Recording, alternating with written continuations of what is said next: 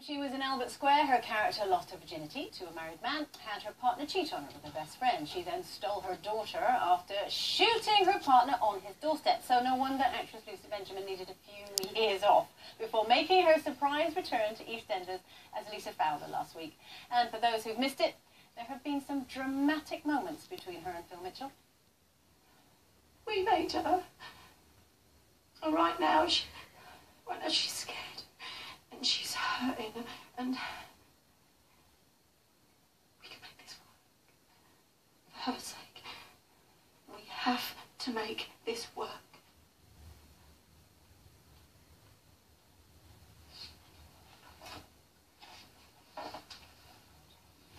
Please welcome Lucy Benjamin.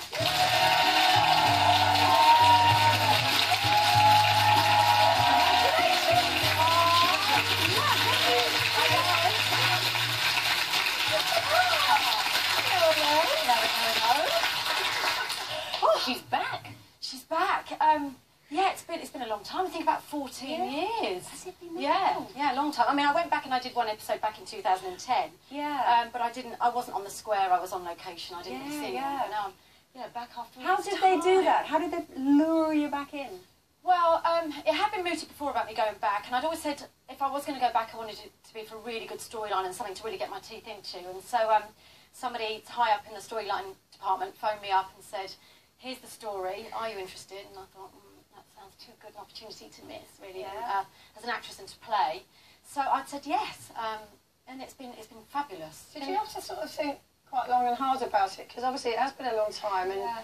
you've got like kids now, and you're married, and you've got a much calmer life. So Yeah. it's quite a big thing to think about opening up that Pandora's Yeah, box because it, it was isn't kind of crazy times when I when I was there. But um, I think because I was so much more settled now, and the kids are, are get, getting older, and I just thought actually it's nice to go back and do that for me and really show people what you know how how great the character was really. Yeah, so yeah. so it was you know, it was quite an easy decision. But it was all a bit of a secret. I mean, you had to keep it secret. It was a Didn't they have to smuggle you in and out of Elstree so Yeah. other people couldn't see? Even the cast didn't know you were going. Yeah, no. Um, when the scripts first landed on my door, um, my character was called Sam. So I, I opened up the envelope and looked at the script. and I thought, well, I'm not in this, uh, you know, because because it was she was called Sam. And then I thought, oh, actually, that's got to be me. I'm talking to Louise here. Um, and then all the cast were getting scripts with, with Sam, the name of Sam in it, and and they had to relearn it on after they were learning it, and they were calling me Sam in the script. Getting on set then and trying to rename me as Lisa was quite confusing. I remember Tish Dean saying, "Oh, this is doing my head in because." Um, you know, I, I've learned it as Sam now, but yeah, they got me. They got me in the car with blacked out windows, and um, yeah, the monitors were all on um, In a back blank. sunglasses. Yeah, all that big hat that said to me. Did you enjoy that? I, I did, I did really, because it kind of made, made it more, more of, a, of an impact, really. And I just Yeah, thought they're going to make this something really special. So how um, did it feel walking? Because the last time you and I saw each other, which was like a thousand years Thousand ago, years. you were dating Steve. Yeah. Had dinner, didn't Yeah. you? So how did it feel, kind of like walking back onto the set when a whole lifetime's gone past? um, it was, it was strange, really. It was just like, it, it was like being a, a first day on a new job again. But within 10 minutes, it was like I'd never been away. Yeah. And it was lovely to be working with Steve and Tish and Natalie Cassidy again. It was, it was just being with mates, like Yeah. old mates that had my back, that, you know, they're still there, they've been doing fabulous work, and that I knew that would look after me again Yeah. on my return, and that's exactly what it was And, like. and when obviously your the, characters have such an intense relationship, the fact Yeah. that that you guys have a history does that help in a way because you know each other inside out? I don't know, I- You, you talk about having your back as an actress. You you know what a little flicker of an eyebrow means. You Uh, yeah, but I mean, uh, to be honest, it was more about the history between Lisa and Phil, and there's so much water under the bridge with those two people Yeah, yeah. that I just you just kind of resort back to to those to those really to those storylines to Yeah. things that got, they've gone through as characters. Didn't have to kind of think about me and Steve in the Yeah, old days. There was so much stuff between Lisa and Phil. Yeah. It was easy to play And of course, in the very early days, the, you were on set with the, the doyens. You know, you had Barbara Oh, Windsor, yeah. June Brown, Pam Hanson I mean, Wendy Richards, yeah, all of them. yeah. I know. I mean, I just remember, you know, my first day in the Vic and having those faces there, and just being terrified, but also realizing what a fabulous opportunity it was, and to be working with these people and just to learn off them, Yeah. really, and just go, this is what you do, this is how they do it, and let's just learn and respect. And them. with unbelievable audience figures as well. The Who Shot Phil episode. Oh. 22 million you, know, you, I you know, told us. Know, And, and isn't it true as well that for that you actually had to learn how to shoot a gun? I did. Well, I learned how to shoot a gun. A real gun second, Yeah, real gun. The second time round, when Lisa kind of, when she didn't get it right the first time, she didn't kill him. I remember uh, there was a Dirty Den storyline, and she thought, right, she's got to finish him this time. And Dirty Den got a gun, and it was a real gun. And we practiced shooting melons as Phil's head in um, in a disused real gun? a real gun. Firing blanks that I had to do, aiming at a melon's a, me- a melon as, as say Phil's head in a disused tube station in um, I think East Finchley or somewhere like that. Was that Um, quite stress relief? I mean, it's, it's actually very, it's Quite a very strange feeling to be holding Is a real that none gun. of you knew who shot Phil? But they filmed lots of different endings, didn't they? And you didn't Well- know which one was going to be shown. I was, I was told, actually, John Yorke took me up to the office and told me it was going to be me that had shot Phil, but I was to keep it a secret. So, and all the other guys that were playing, that, that they, um, that they were, uh, what's it called, when they're suspects, Yeah. yeah. they basically, they, they weren't told, they were just told that you're all suspects. And so I had to go back down and say, I'm a suspect, a suspect too, or is it you? So I had to go down and carry on lying.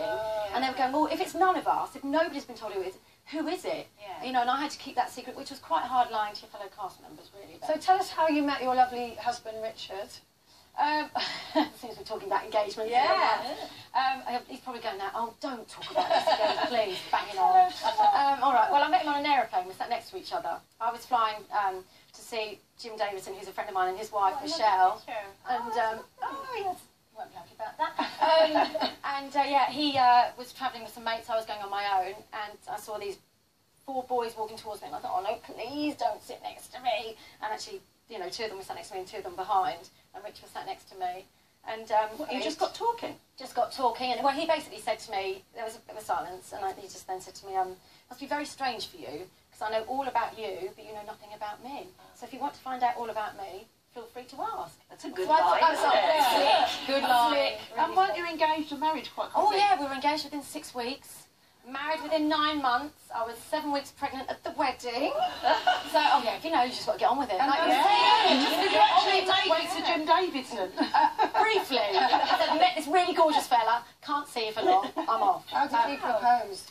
Uh, we went back to Dubai, and he uh, he bought a ring and proposed to me on a, one of those fabulous uh, abras on the man-made uh, waters at one of those fabulous hotels. Was So- it a surprise? Not really. I think I kind of pointed out nice little rings and the diamonds. So going, that's a nice ring. That's a nice ring. Bit pushy, but as I say, you just got to get on with Are it. the kids watching you now in EastEnders? You've got two Yeah, little girls. yeah, they are. I mean, uh, uh, they hadn't seen much of it before. They know the music. It's so funny. The kids just know the music without even Yeah, watching the yeah, show. yeah. They just they, they sing the theme tune. So they are. Yeah, they've been watching it. Now, I don't think they know the scale of the size of the show really. Um, but I'm sure once they go back to school, they're going to have some Yeah. Oh, cute. yes, they And will. have you noticed a sort of a, a bit of an upping in terms of getting recognised and getting back out on the street? Well, it's funny because it never, it kind of, it never really went away. I'm surprised after all this time that people do still recognise you. Well, not when And 22 call out- million people have watched you. Yeah. Can you give us a little hint about what's going to happen tonight? Well, I, I can just say to you, there's two episodes tonight. There's not one tomorrow. There's two tonight. Um, and Phil is on the uh, rampage looking for Lisa because obviously she's taken Louise from the hospital, um, which she thinks is the right thing to do, as silly as it may seem, without all of her medication. But she's, um, yeah, she's taken Louise to this boat hole, this hotel, and she wants to make amends and be with her daughter because she thinks that's the right place to be. Well, you said there's two episodes. Two episodes Obviously, it's um, BBC One, 7.30 and 8.30 tonight. Yeah. Yes. And before we go, I just want to chip in because you're here on a very special day. Yes. Lovely to hear about your proposal, and of course, Andrea is engaged. So we're going to have a little bit of a party. Thank